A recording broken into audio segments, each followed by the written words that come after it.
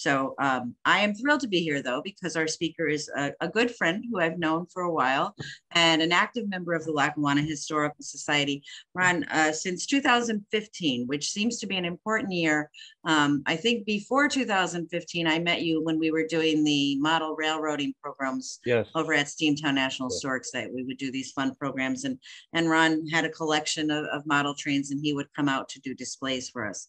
But I joined the Historical Society in 2015, and it was in that year that Ron was responsible for installing a sign at the Electric City Trolley Museum. And I, am sure George has been there. Um, if you've been to the Electric Trolley Museum and you know the building that it's in, that building was once home to Maccar trucks. The trucks were manufactured there, Ron?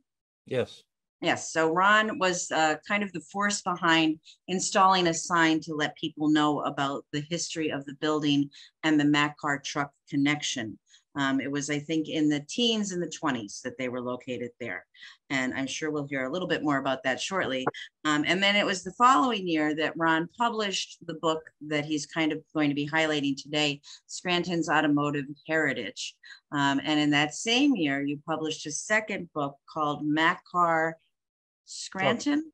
Maccar trucks built in Scranton. Maccar trucks built in Scranton, which is this massive tomb tome that that tells you all about trucks made in Scranton, and it's fascinating uh, that relates to this topic. So, so Ron is our guy. If, we, if somebody has a question about local automobiles or certainly Maccar trucks, we go to Ron because he has been studying this for a while. And as I said, he also does the model train thing. And recently, I think you started to do some model uh, trucks as well. Is that right? Yes. Uh, yes. One of the original vehicles that was built in Scranton has pictures, but we don't have a model of it. So I got a 3D printer and I'm making a model of it, 110 scale. So, so Ron not only uh, researches history, sometimes he rediscovers history or recreates it to bring it back to us. And so he's a great guy to know and to have as a member of the Historical Society. So I'm always grateful that Ron is there to share his information and his knowledge with us and, and uncover new history. So uh, today, Ron is going to share a little bit about Scranton's automotive history, and I'm going to turn it over to Ron Moskalczak. Ron, welcome. All right, thank you, Marianne. Uh, I've lived in the Scranton Meredith Valley for most of my life. And I'm sure as uh, most of you people who went to school around here, we learned about the coal and the iron industry and uh, uh, the textiles, the railroad trains, and the trolleys. And uh, one thing I never heard about when I was in school was the fact that automobiles were built in Scranton. And so uh, I did a lot of research and started uh, gathering facts. Uh, we went to uh, Detroit Library, Philadelphia Free Library. Uh, of course, the historical, Lackawanna Historical Center was a great help. Uh, the AACA Library to get some information about vehicles built in Scranton and the history of them. So today we're going to start off uh, with the Scranton's automotive heritage. Uh, Scranton has been a distribution center in northeastern Pennsylvania for many years. The 100 block of Lackawanna Avenue was uh, noted as the wholesale block. And produced train and produce came in from, from trains, trolleys, and wagons to be distributed to local grocers and supply homes. The industries needed transportation for their products, and the workers needed automobiles to travel to and from work. A gentleman, Patrick J. Collins, born in 1873, relocated to Scranton in the late 1880s. They lived in the Minooka section. Young Patrick first learned about electricity and electrical motors by working as a stock boy in a local electrical warehouse. By the age of 23, Patrick Collins had become so proficient in electric motor design, he was promoted to the manager of the largest electrical supply and motor repair company in the city, Scranton Electrical Works. The company had four or five branches of stores in the valley and would build special motors to order. In August 2nd, 1900, the first practical test of the electromotor carriage was made and proved entirely satisfactory. As the Scranton Tribune reported, Mr. Collins has been at work on his carriage for nearly a year. His workshop was at Bloom's Carriage Factory, which was located at 118 122 Dix Court. The delivery wagon with two motors and spur gearing weighed only, only 2,000 pounds, complete with batteries. It was adapted to run 12 miles per hour. It would travel 60 miles over ordinary roads and city streets with a single charge of the batteries. The vehicle carried 44 80 amp hour cells having a maximum discharge capacity of 32 amperes. Patrick, still manager of Scranton Electric Works, has been rebuilding and reworking this vehicle. After years of endeavor, Pat Collins formed a new company to get his invention to the market. A company with a capitalization of $100,000 was organized and operated under the name of Twin Motor Vehicle Company. The Twin Motor Vehicle Company was located at the corner of Lackawanna and Jefferson Avenue. On April 16, 1903, the night before the public showing, a malicious person entered the room with a crowbar, smashed the delicate mechanism, and threw acid over the motor.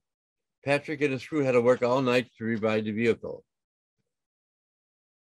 He had a, a tough going starting out with his vehicle.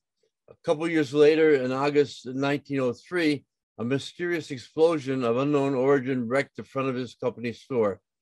Nothing was ever written about the twin motor vehicle company after the explosion in 1903. It's common belief that it dissolved before any other vehicles were produced. As for a vehicle that seemed to survive the explosion, no record exists for it. Since automotive patents exist after that, it is believed that the vehicle was moved to a private garage and worked on by Mr. Collins. In 1906, Patrick Collins designs and tests electric motors that powers trains and becomes a consultant for GE leaving Scranton. He has a patent on the first electric diesel driven uh, locomotive, which is pretty good for our area. Uh, Patrick Collins uh, worked for GE and left Scranton in 1911. If you wanted to see new model automobiles in the 1900s, affluent families had to travel to Madison Square Garden in New York City. Finally, on March 10, 1909, Scranton held its first automobile show with four vehicles, the Knox, the Thomas Flyer, the Brush, and the Buick at the real estate building at 138 Washington Avenue.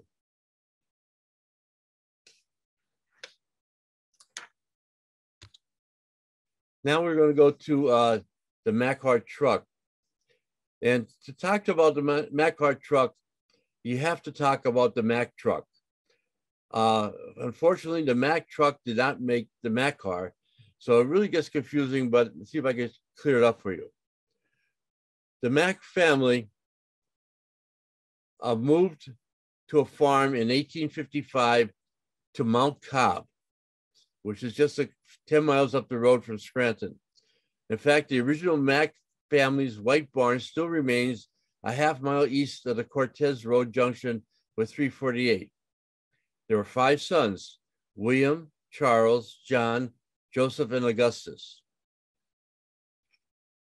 This is a picture of the original family home in Mount Cobb. Uh, it was torn down many years ago, and there's a, a housing development there now. This is John Michael Mack, known to all as Jack, he was born in 1864. His brother Gus obtained a job with a wagon and carriage manufacturer, Christian Fallesen in Brooklyn. Jack, who had experience with steam engines, found the opportunity to work at Fallesen with his brother. It was only evident that they would take over the Fallesen factory in 1893 when Christian Fallesen retired. Willie, the other brother, joined them in 1894. By 1902, they built an open seeing vehicle for visitors to New York City. The vehicle was self-powered, gasoline-powered bus that would carry 18 to 20 passengers. More were produced to meet the demand, and the Mack brothers calling their vehicle the Manhattan. At the same time, Joseph Mack opened a successful silk mill in Allentown. In March of 1912, Jack Mack merged the Mack brothers with the Sawyer Motor Car Company and the Hewitt Motor Company under the International Motor Truck Company. Jack Mack retires from the International Motor Truck Company and purchases the Webb Motor Fire Apparatus Company in 1912. The Webb Motor Fire Apparatus Company had A.C. Webb as president and Roland Carr as vice president. Roland Carr was born in 1874 on a small farm in Saluba, Iowa, and was manager of the Butler Brothers Eastern Division Mail Order. Jack started the Maccar Company with Roland Carr as a financial backer. Maccar took over the old Allentown Foundry and Machine Company building on 3rd and Walnut Street. the first Maccar one-ton truck was ready for show at Madison Square Garden in New York City on January 2nd, 1913.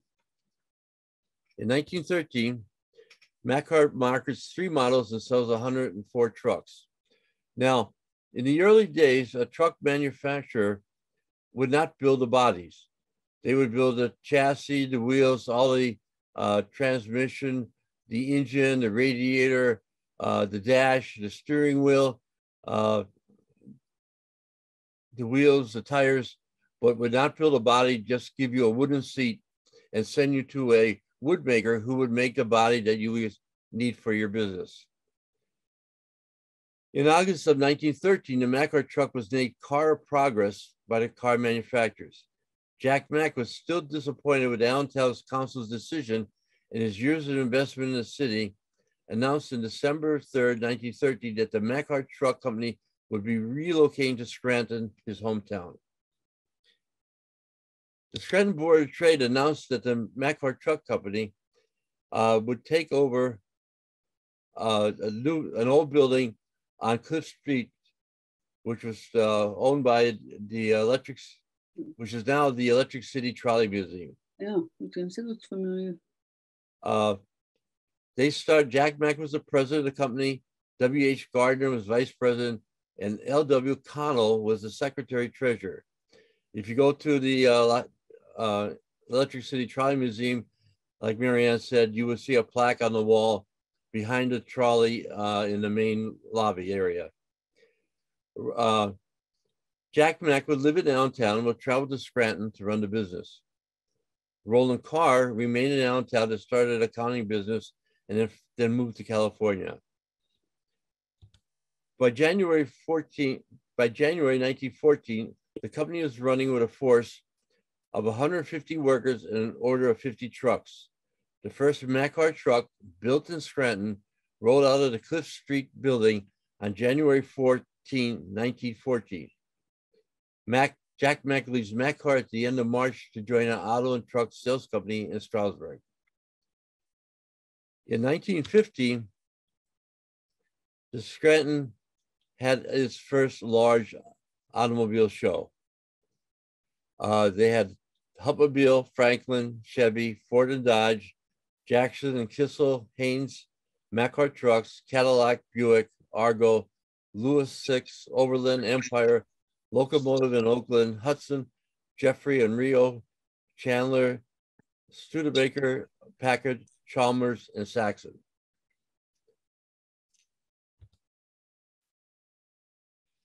In 1915, Maccar markets eight models and sells 220 trucks. Scranton was booming in 1915 so much that the Board of Trade had 215 companies on their doorstep waiting to come to Scranton. In 1916, Robert C.H. Rupp joined the Maccar Truck Company as vice president, coming from his past position as manager at S.S. Kresge's in Scranton. Robert served mostly as vice president and once as president of Maccar, but his enthusiasm and dedication provided the glue in the management that kept the company moving forward. Another gentleman, Frank Mueller, who was a machinist born in 1971, joined Maccar in Allentown in 1912. Working closely with Jack Mack, Frank Mueller advances the design of working trucks as chief engineer. Frank Mueller was proved to be the most innovative truck design engineer of the age and the individual that continues the vision of Jack Mack, making Maccars the leading vehicle in all classes. One of Jack Mueller's, Frank Mueller's uh, notable inventions was called the Dynamo power plant. In the picture below, you can see a subassembly that would fit into the Maccar trucks. The subassembly included the radiator, uh, the engine, the transmission, the dash, the steering wheel, and all the uh, wiring in the engine compartment and the hood. If, if, you had a vehicle, a Maccar, and you broke down alongside the road, you would be able to call your company. A tow truck will come out bringing a subassembly. They would detach six bolts and unhook a lot of connections and be able to replace uh, the new engine and get you back on the road within a half hour. This is a huge design and a huge plus for the Maccar industry. In 1916, Maccar marketed eight models, three quarter to three and a half ton, and sold 318 trucks.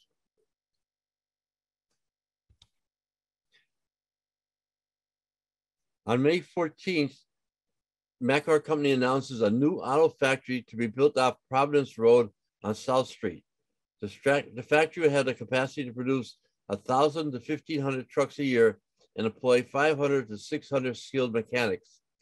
Currently, uh, if you're familiar with the area across from the uh, Memorial Stadium for Scranton High School, uh, it's just a block in. It's now the home of All Good Things.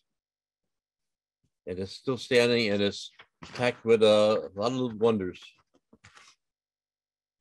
In 1917, Maccar marketed five models, one to five and a half tons, and sold 516 trucks.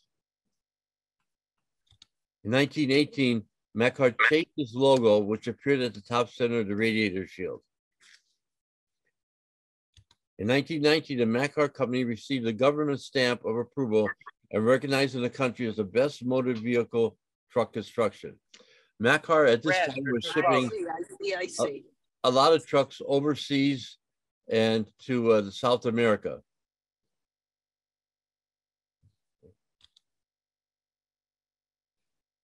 Andrew Warman, who was born in 1863, was raised in the Scranton area. Andrew worked his way through a family business, the Lackawanna Laundry. By 1913, A.B. Warman was president of Lackawanna Laundry and was instrumental in starting the YMCA in Scranton. These are pictures of 1919 Maccar. They made five models, one and a half to five tons. They sold 406 trucks. Uh, if you look at the upper left picture, you will see the Everhart Museum in the background. And the lower left picture, you'll see the uh, sub-assembly that the tow truck would bring out to fix uh, vehicles that needed help.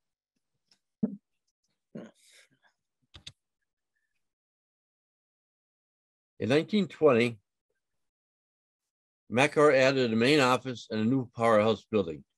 The main office is still standing today right next to the uh, All Good Things. The 1920 automobile show outgrew the town hall and moved to the 13th Regimental Army Armory. Hmm. The show opened on March 1st to display 175 automobiles of 50 different makes for a week, followed by 160 trucks and farm tractors on March 9th for another week.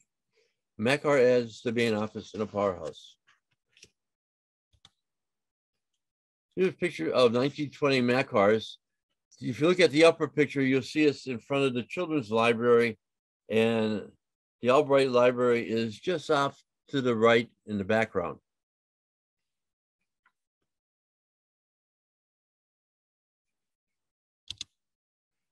This is the inside of the uh, Maccar plant. Uh, you can see it's uh, wide open. You can see all the frames that they're working on. And this is now where all good things are.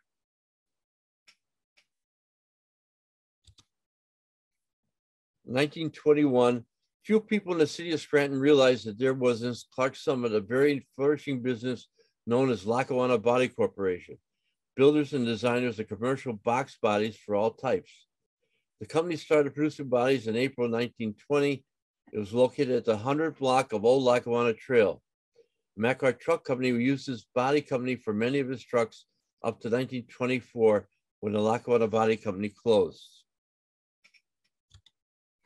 On March 2nd, the Scranton Republic announced that Ted V. Rogers had purchased the Wilkes-Barre Maccar Sales Corporation from W.A. Chris. In 1919, Ted joined the Maccar Sales Corporation as treasurer of the Wilkes-Barre sales office. By 1922, Rogers was owner and manufacturer, owner and manager of the Wilkes-Barre and Scranton offices. Rogers joined with the Escherbach Company as a prime shipper of A&P produce, running with a fleet of 50 Maccar trucks. Noticing that the trucking industry badly needed regulations for their safety, Ted Rogers became the first secretary of the Pennsylvania Truck Association in 1933 and director of the American Highway Freight Association. In 1922, Maccar marketed 10 models, one ton to five ton, and sold 477 trucks.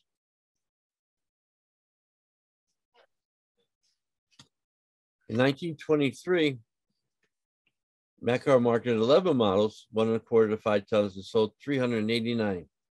The Maccar truck family people were smiling broadly now over the unusual honor of theirs and the fact they received an order to de deliver five one half ton Maccar trucks to the New York Daily News.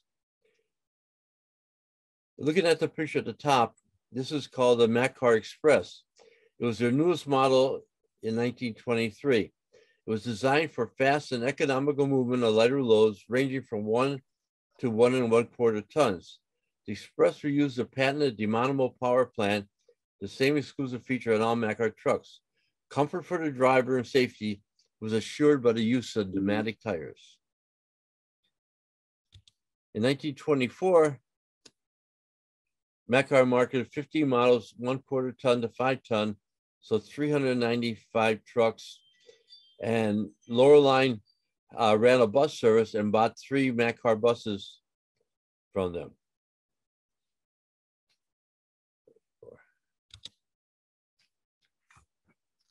In 1925, Maccar marketed 11 models, one and a quarter ton to five ton, and sold 287. The picture at the top, you can see the uh, was the Maccar Truck Company building. You see it in both pictures, the Maccar Truck building in the background.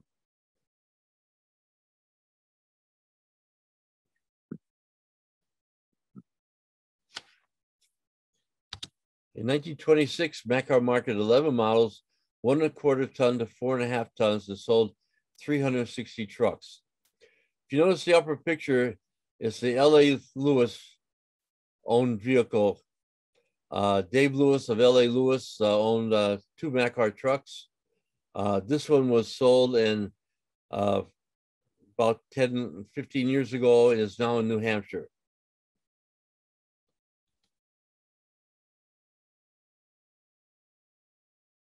In 1927, Maccar marketed seven models, one and a quarter ton to five ton, and sold 360 trucks.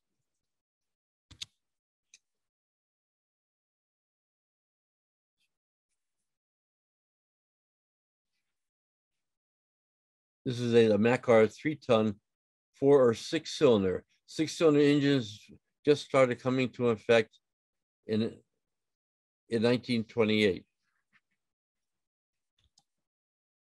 In 1928, Maccar marketed seven models, one and a quarter ton to 12 ton, so 381 trucks. This is a picture of an LA Lewis uh, moving and storage van.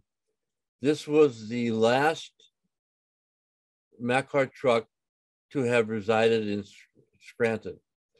LA Lewis owned this truck for many years. They restored it from the ground up. Uh, it is a very heavy vehicle.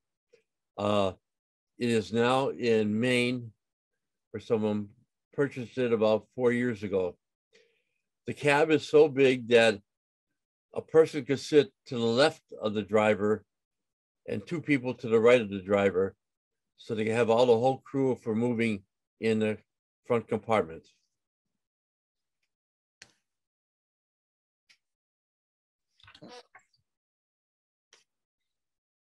This is a picture in 1929 Maccar market of nine models, one and a quarter ton to 12 ton, sold 480 trucks. This is a picture of a Maccar truck in front of Steve Shannon's Tire Center, 770 Wyoming Avenue, which was the original sales office from 1917 to 1930 for Maccar trucks in Scranton. The Great Depression affected the country in August of 1929 the Maccar truck sales, sales slowed, but the plant kept produce, production going. Maccar changed the building concept. Instead of just building the basic frame and running chassis of the truck, and then hiring an outside company to fabricate the custom body, Maccar was now completing the full truck assembly, chassis, frame, and body in-house. This in-house production led to better quality, scheduling, and cost control. In 1913, Maccar trucks are built to meet the needs of the owner. No mass production in the building of Maccars, announced the corporation. It was, it was working. Maccar is now producing custom trucks. Everyone was custom made for the customer and the production was increasing. Large fleet buyers would enjoy the quality of the Maccar trucks. We're now ordering specialized vehicles for the products. In 1930, they sold 12 models, one and a quarter ton to 12 ton, they sold 439 trucks. In 1931, A&P announced the opening of their new modern light day bakery, which was located on Vine Street near Penn Avenue. With the announcement came the order for 18 new Maccar trucks for the A&P fleet.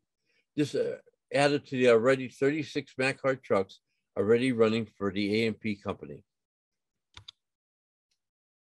In 1931, Maccar marketed seven models one and a quarter to four ton, sold 288 trucks. In 1932, Maccar marketed 11 models, one and a quarter ton to 12 ton, and sold 191 trucks. Again, in the upper right picture, you can see car factory in the background.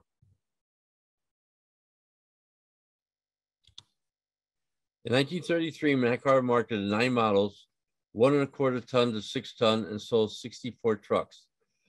The vehicle in the lower right, the St. Johnsbury Trucking Company, is uh, restored, one of the few that are restored. And it was just sold last year to a gentleman in uh, uh Maryland. The final days of the Maccar industry. Many of Scranton's important leaders were board members of Maccar, Ellen Connell of the Gas and Water Company and Worthington Scranton. In March 16, 1933, the last Maccar truck, a 36A, came off the assembly line. In March 20th, 1933, Maccar goes into receivership. JFW Heinbogel keeps the company running and builds trucks from remaining parts shipped in from district sales offices.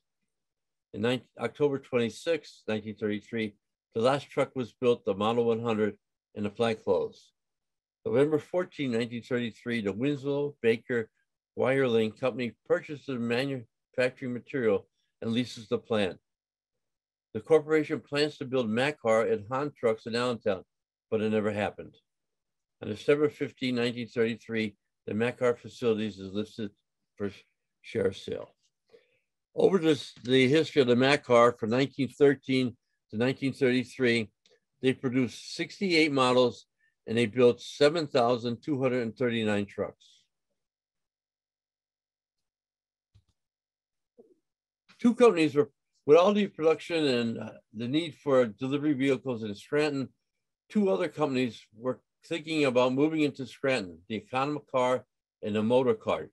Both were small delivery vehicles that could run in the alleys and the side streets and get the produce from the grocer to the consumer as very quickly. Unfortunately, uh, both of them never made it to Scranton. Uh, one of them went out of business in 1914, and the other one had trouble transferring uh, its money across state lines, and it never came to Scranton. So they were looking for joining the uh, the trucking company in Scranton, but it never happened.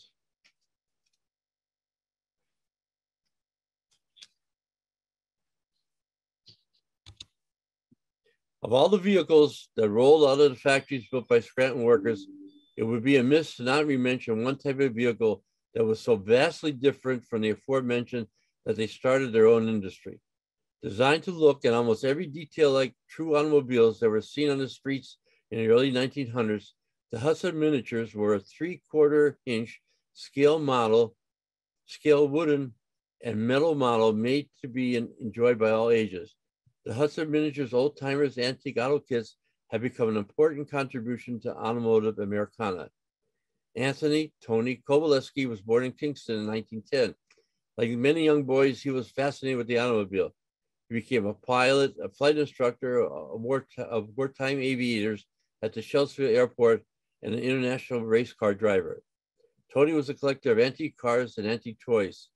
He started the Scranton Hobby Center in 1938, and in 1948, he was able to purchase a 1914 Stutz Bearcat for a New York City car collector, completing his childhood dream. In 1947, Tony developed the Hudson miniature old timers using his wife's family name Hudson. These easily assembled prefabricated scale models made of wood and lead, later changed to plastic, were developed after long hours of research and representative of one of the most authentic hobby lines ever put on the market. Workers molded the parts, cut out the wooden patterns, and assembled the kits in the basement of the store. The Hudson Miniatures Old Timers consisted of 20 different models. The first kit was a 1911 Maxwell, followed by 1904 Stevens Duryea, 1904 Oldsmobile, 1903 Ford Model A, 1900 Packard, 1911 Buick Bug, 1903 Rambler, 1903 Cadillac, 1910 Ford Model T Roadster, 1902 Franklin, uh, 1906 Columbia Electric, 1914 Ford Model T fire engine, 1909 Stanley Steamer, 1910 International Harvester, 1904, 1909 Ford Model T Touring, 1911 Brush Delivery Truck, 1914 Stutz Bearcat, 1913 Mercer Raceabout, 1906 Old 16 Locomotive, and a 1914 Regal. Each kit consists of a large instructional page with a history of the vehicle, sheets of balsa wood with pre-stamped parts, metal wire, molded plastic parts like the steering wheel and the four wheels, and a supply of smaller parts of balsam wood. The instructions suggest the colors to paint the parts and an option to turfing material for the seats. In 1951 and 1952, four new models of a 3H scale were introduced as Hudson Miniatures Little Old Timers. 1904 Oldsmobile, 1911 Maxwell, 1913 Mercer Runabout, and the 1914 Regal. Hudson Miniatures production ceased in 1953 with Aurora Plastics purchasing the rights to the Hudson Miniatures Old Timers name and design. Aurora Plastics went on to produce plastic models of the Old Timers. Little Old Timers were sold to Revell and shipped to England where kits were made from them. Now, as many as, as I know from when I was young, I built many car models out of plastic from uh, Revell and Aurora Plastics. And thanks to uh, Tony Kowaleski and the Hudson Miniatures, I was able to, to get those models in the advanced part where I had a lot of fun. So I thank Tony. A warehouse that stored a large supply of the original Hudson miniatures that was destroyed by fire in 1958. The Scranton Hobby Center on Adams Avenue was destroyed by fire in 1968. The business was sold and Tony retired in 1968. The pictures of the model cars that I just showed you were from the Don Clark's Miniature Memories collection. Anthony Kowaleski will continue collecting toys, drive his 1914 Stutz Bearcat, and bringing smiles to everyone he touched. He mastered the ukulele and will play for many hospitals and nursing homes. His jokes under his Uncle Louis stage name will make you laugh until you cry. If you didn't get to know Tony, you missed a Scranton treasure. He was a good neighbor and a great friend, and he died December 20th, 1999. that sort of concludes my presentation. If you have any questions or further information, uh, I have an email. You, you think of something you want to ask me, it's Car Trucks, one word, at gmail.com. And I'd like to thank uh, the great help of Mariana, staff of the Historical Society, the Albright Library, AAC Library, uh, encouragement and guidance from TC Conley, and my wife for all the hours of proofreading and travel. Uh, thank you very much for uh, logging into the Zoom. I really appreciate uh, getting this out, and I hope you enjoyed it. If you have any questions, uh, give me a shout. Okay. Okay. That way we could see everybody. Does anybody have any questions for Ron? Tina, you're muted. Yeah, I'm sorry. Um, Ron, I'm, um, I'm the niece of Ted Rogers, Oh, great. And he's also, was also my godfather. And, uh, I didn't know too much about Maccar trucks. I left Scranton in, uh, nineteen seventy. Um, but my sister, Nancy K. Holmes, the library is named after her in Greenridge. Right before she died, I don't know what possessed her. I was in Scranton. She said, we have to write a little pamphlet about stories that our father told us, our late father and our late uh, Uncle Dan, who were both brothers of Ted Rogers. And so we sat down at her computer in, on Woodlawn Street and she started writing these stories. And one of the stories that she wrote, a little anecdote, I have no clue if it's true. She claims that my our father, Hugh Rogers, who was the youngest of the Rogers brothers and became the president, by the way, of Eschenbaugh Rogers Company. He was the president the whole life, of my whole life. I don't know how he got that. I from I, I assume Uncle Ted started it. I don't know. But anyway, she claimed that our dad, who moved from Coaldale, where he was in the mines as a teenager, to live with Ted Rogers. He lived with him and his family until he got married. He, she claimed that when he was in high school, that Uncle Ted had some sort of a company where um, a vehicle was made, but it didn't have a cabin. it. Was just a box with some other stuff. And then on the weekends, our dad, uh, in his late teens, would drive this contraption to Ohio in all weather. And if, if he stopped, he couldn't turn it off. And when it got to Ohio, that's where they put the cab on. And then he would return in a fully made, whatever it was, vehicle. And that he did this. And she said he would make more money in a weekend than most men would make in a week. Now, I have no clue if this is true, It could but is be. it true? Huh? It could very well be because Maccar trucks did not have bodies in the beginning. Yeah, well, that's what he did. And I'm thinking we're talking about, um, he was born in nineteen oh three, my dad, so he probably was, was nineteen twenty-one or something like that. And I assume he was eighteen, I don't know. And I, nor do I know, please understand, Nancy Kay was literally terminally ill when she wrote these, she told me these incredible stories. I was long gone from Scranton. She heard them from my dad and other people, I guess. But all this stuff I learned today and about And Rogers, I didn't know any of that stuff. I didn't know anything about Maccar. I'm fascinated, to tell you the truth. So I salute you for doing this. Oh, thank you. It was really interesting. It was funny. I was at a flea market for trucks one day and I ran into the uh, uh, the safety council for highway, the group that Ted started uh, after uh, he left Maccar. And I, I said to him, I say, you know, uh, he used to work for Maccar Trucks. And he said, I never heard of that. I said, yeah, he has a great history with Maccar Trucks before he started the organization to help all the truckers.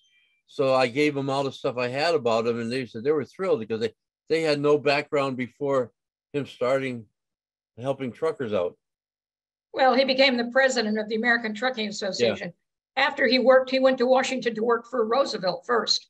And then he founded the ATA. And when he retired as the president of the ATA, and we're talking about 1948, 49, he was honored at a dinner in Los Angeles. And uh, my parents were with him, and every state in the union presented him with something, uh, an extraordinary set of sterling silver that I don't know what happened to.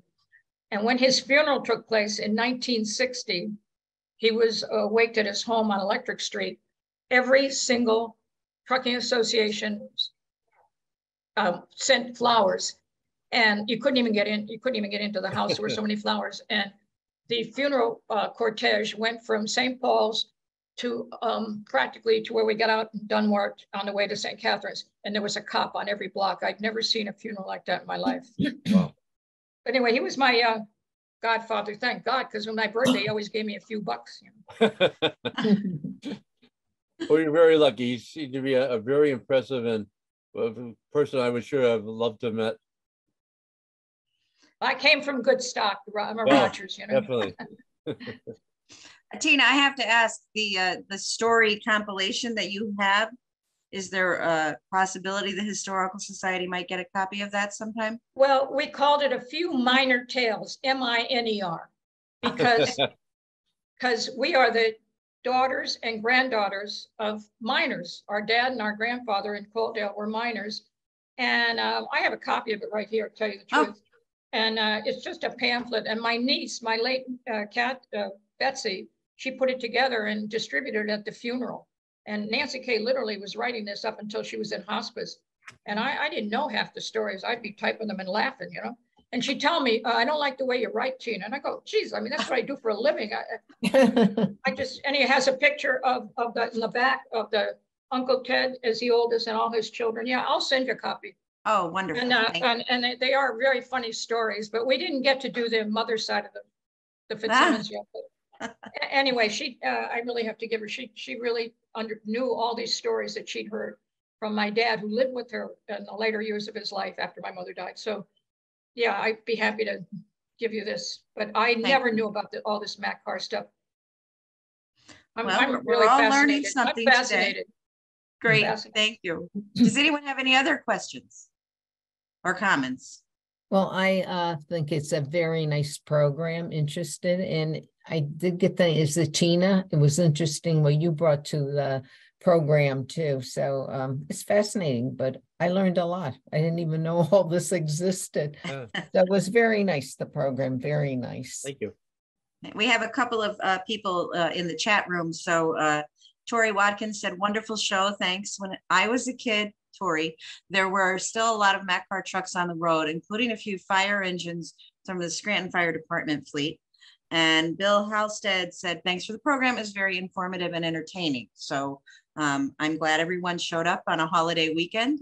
Um, Ron, thank you so much. I, I knew it was going to be good because I know you are a dedicated disciple of uh, the Maccar uh, industry in Scranton. So I'm glad you're spreading the word and we were able to help you with that today. Um, our next program, there is a date uh, shift because uh, we are moving the program to June 23rd and it's going to be a sneak peek of our Beyond the Hill House and Garden Tour. So the tour is on June 25th. It's a Sunday after, a Sunday morning into the afternoon, 10 a.m. to 4 p.m. You'll get to tour five beautiful homes in the Abingtons and a few secret gardens and some other surprises.